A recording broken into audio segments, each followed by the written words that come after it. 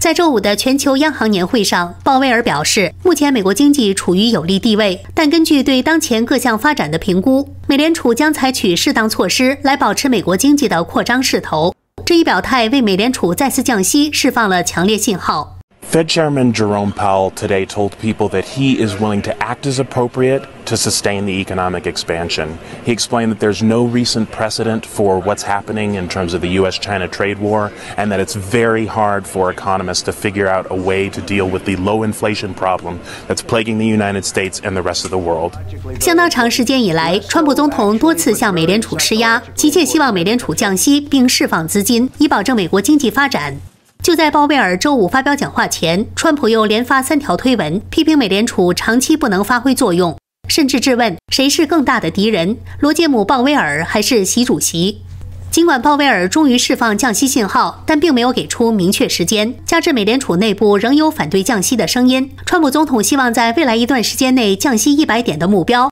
外界只能拭目以待。新唐人记者乔安综合报道。